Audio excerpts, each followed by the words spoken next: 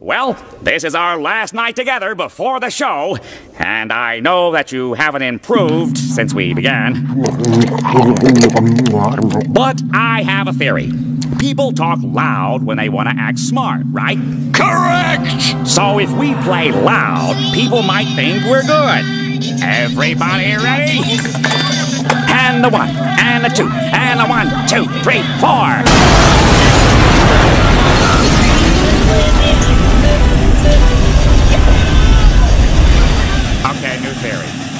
Maybe we should play so quietly no one can hear us.